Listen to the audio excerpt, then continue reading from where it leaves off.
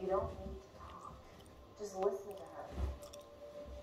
You get to come out here. Clear your head. She's trapped in there. Alone with her thoughts, her fears. You don't think she wants to get out? Yeah.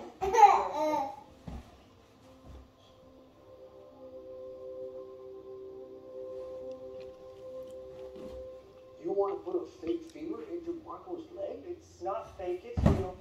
It's not fake.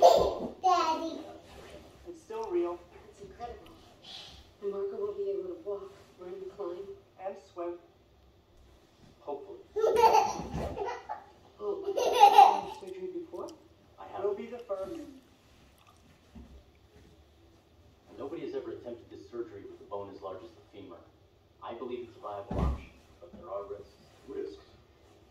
Could Marco die? In my estimation, there's a 10% chance he won't make it. Then no, I'm not losing my son.